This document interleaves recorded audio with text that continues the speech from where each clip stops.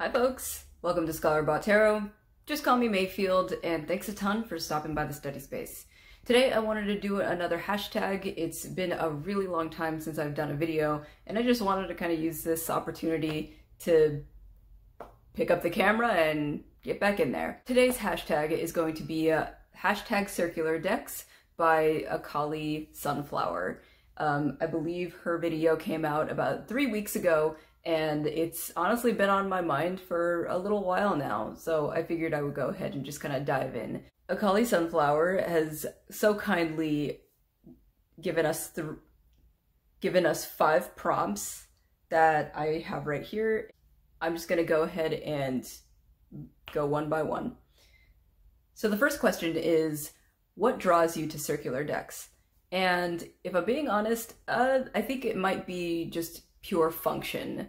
It's not necessarily because it's a round deck that draws me to it, it's simply that it's a round deck that works for what that deck may or may not be trying to do. Sometimes there are happy accidents where, you know, a round deck is absolutely perfect for a particular theme that a deck is going for. Other times it's round just for the sake of being round, and the latter is not my preference. Number two, what challenges are present when it comes to circular decks?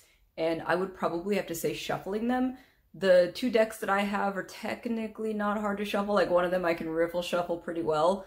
Um, however, I do prefer to hand over hand for a circular deck for some weird reason. But even then, I feel like they roll out of your hand like really fast. Honestly, that's about the only trouble that I've run into with the circular decks in my collection. Question number three, how many circular decks are in your collection? Two. Number four, what is your most recent circular deck purchase?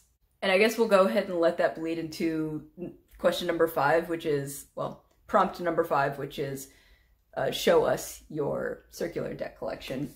And my two ones are the Madam Clara's Two Penny Oracle and and uh, Quarter Press's Fantasma Oracle.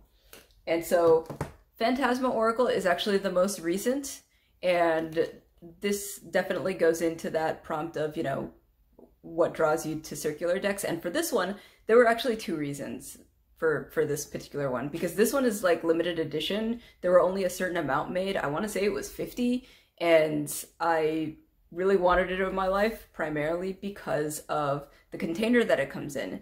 So the Fantasma Oracle is this like cartoony oracle deck. And if you're familiar with Quarter Press, they've done other decks like the Tarot of the Unknown, which was a deck based off of the cartoon what was it? Oh my god why am i why am i blanking on it? Over the garden wall jesus christ why did it take me forever to figure that out? So the deck was based off of over the garden wall which i highly recommend for autumn viewing. Like it is it's something that i watch the entire series it's super short. I watch it like every thanksgiving day. So these are the cards and they're really small. So I obviously can't riffle shuffle them.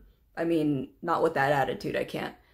But I would be afraid to try because um, the the edges are a little a little rough to be honest. But you know, this deck is quite clearly a labor of love uh, by by Chris from Quarter Press.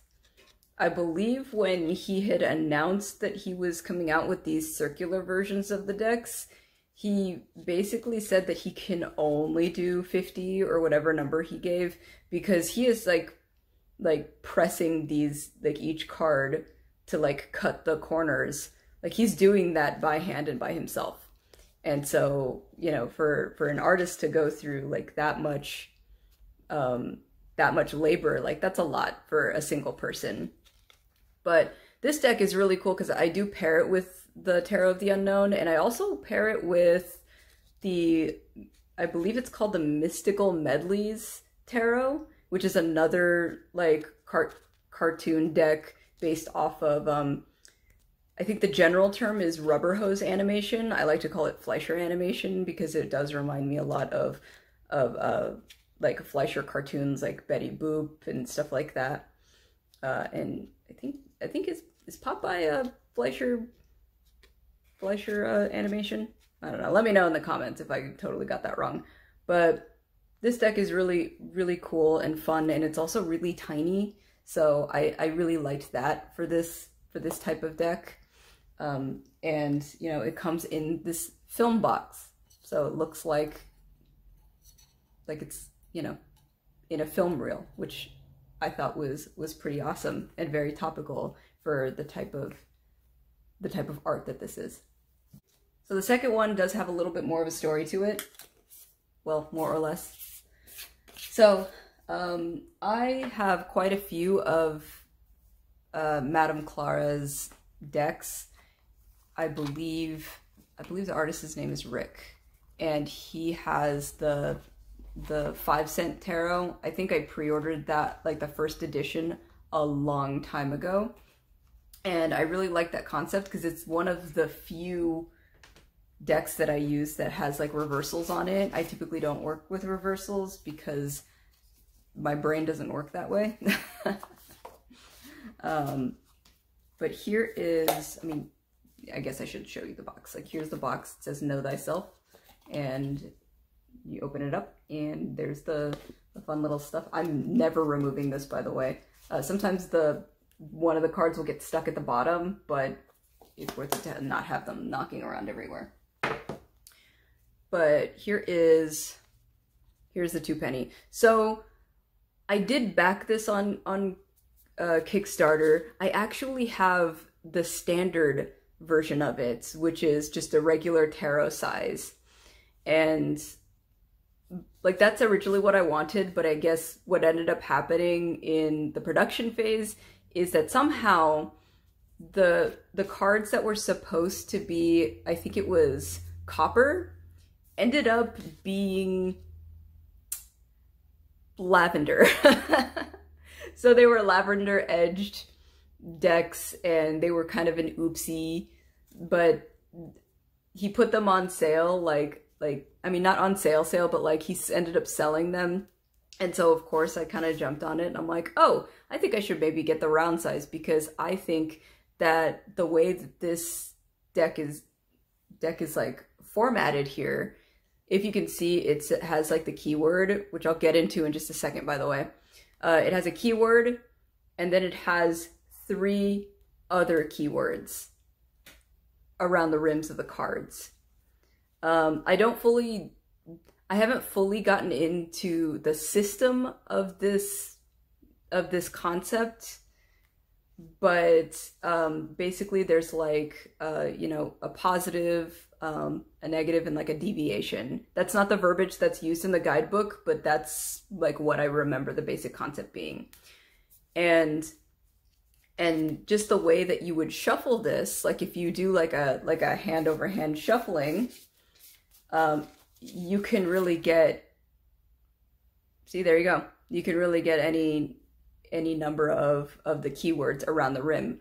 Whereas in the standard edition, which I don't have in front of me, unfortunately, and I can't be bothered to get up, um, it's, it's like the positive at the top, the negative at the bottom, and the deviation is like right underneath the the main keyword, but it's upside down, which is pretty on brand for for uh like the five cent deck because this is supposed to be a companion to the five cent deck. And so the concept. And this is going to be a little hard for me to explain because this would have been uh, a topic that I would have done in a video essay, but I feel like I don't have enough uh, research under my belt for this, but this deck is is based off of phrenology, which is like this pseudoscience that was particularly popular during the progressive era.